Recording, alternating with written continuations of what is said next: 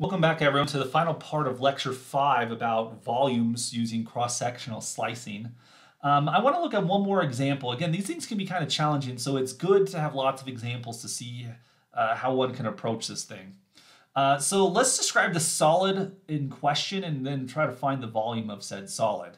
So imagine a wedge is cut out of a circular cylinder of radius 4 by two planes, okay? And then there's an illustration of what's going on here down below, which is courtesy of James Stewart's calculus textbook.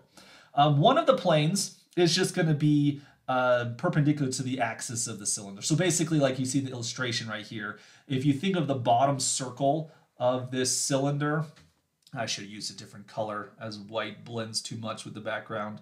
If you think of this bottom right here uh, as the xy plane, that's one of the planes we're going to use to slice this thing. And then the other plane is going to come through the x-axis of the xy plane at a 30 degree angle or, or pi sixth if you prefer radians and such a, like this. And so let me kind of erase what I wrote here. And so you try to see that there's this wedge that's cut out of the cylinder. So we're trying to describe this region right here. Okay. And so it's going to come about by using cross-sectional slices, which if we look at cross-sections, and so let's give a little bit of description of the base. So from a different perspective, we're looking at the x-axis right here. Uh, the y-axis comes up right here as well, like so. And then we're going to have a semicircle that lives inside this xy plane like so. And so what we're trying to do is we're trying to describe this semicircle right here. Now as the circle, the base circle is going to have radius of 4. Uh, that was given up in the description right here. This circle will have the equation y equals the square root of 16 minus x squared, uh, like so. So this point right here would be 4 comma 0. Uh, this point right here would be negative 4 comma 0 in terms of this description.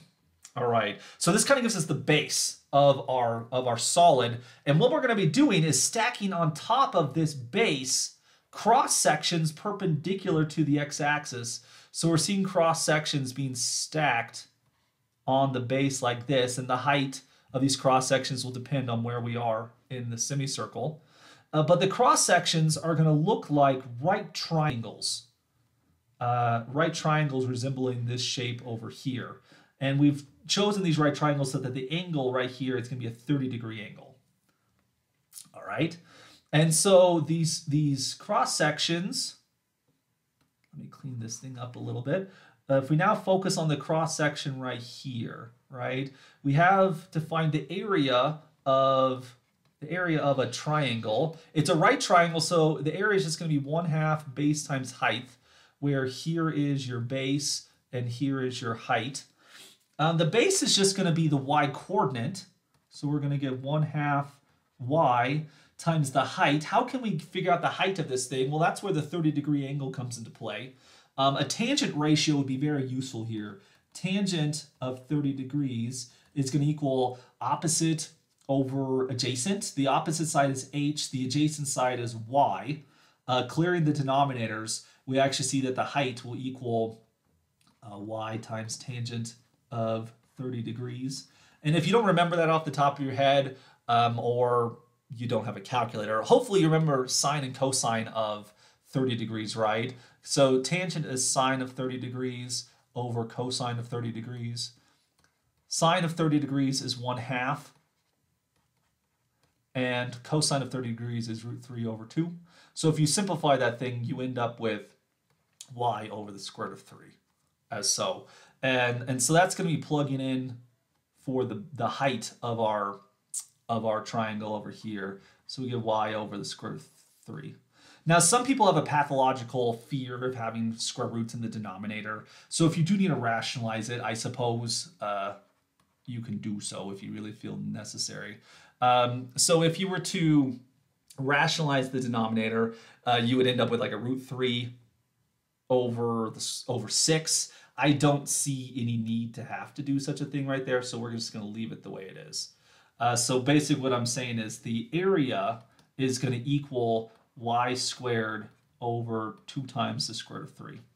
That's going to be the area of one of these one of these uh, triangles. But again, this is in terms of y. If we set up our integral, the volume of this wedge is going to be the integral of an area function a of x dx. And let's try to identify what the bounds of integration would be if we come back up here. Our x values is allowed to range anywhere in this spectrum right here from negative 4 to 4. So those are going to be the bounds of integration.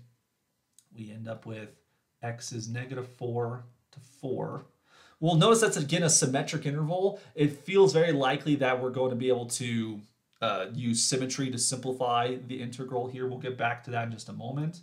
The area function, which we saw from before, y squared over 2 square root of 3, we can plug that in right here.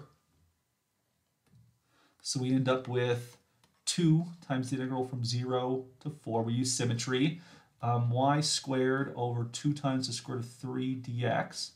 So we can simplify things a little bit, like the 2 out in front cancels with this 2 right here.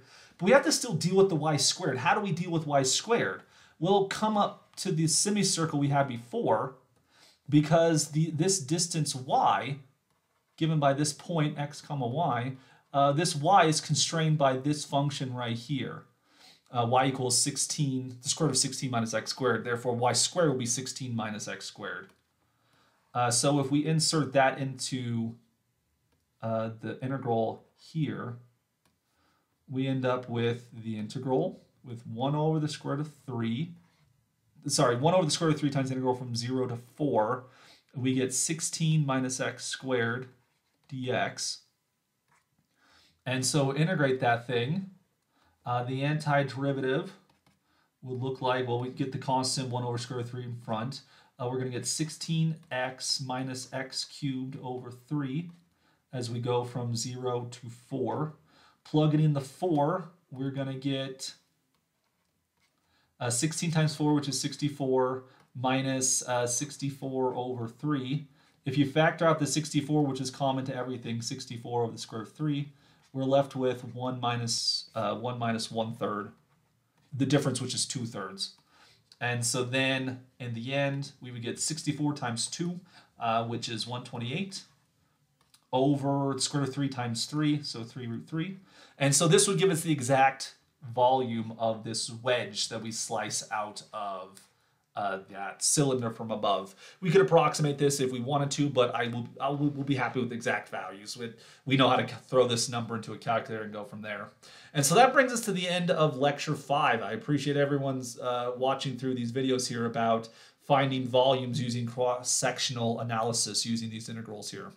Um, if you like these videos, please do click the like button. Uh, feel free to subscribe so you learn more about videos that are created in the future.